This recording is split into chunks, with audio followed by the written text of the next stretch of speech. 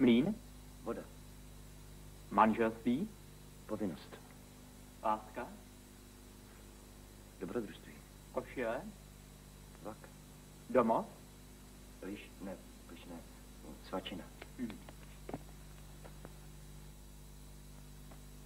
Já vám teď ukážu takové tabule a na nich jsou určité obrazce.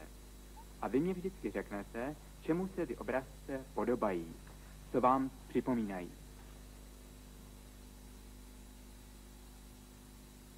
Rozježený opičák. Před skokem. Ne. Červený netopír, nebo...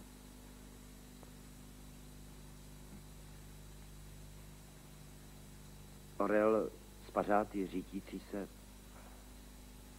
nebo bojující kohouti mezi sebou, nebo ryba na kolečkách, jo.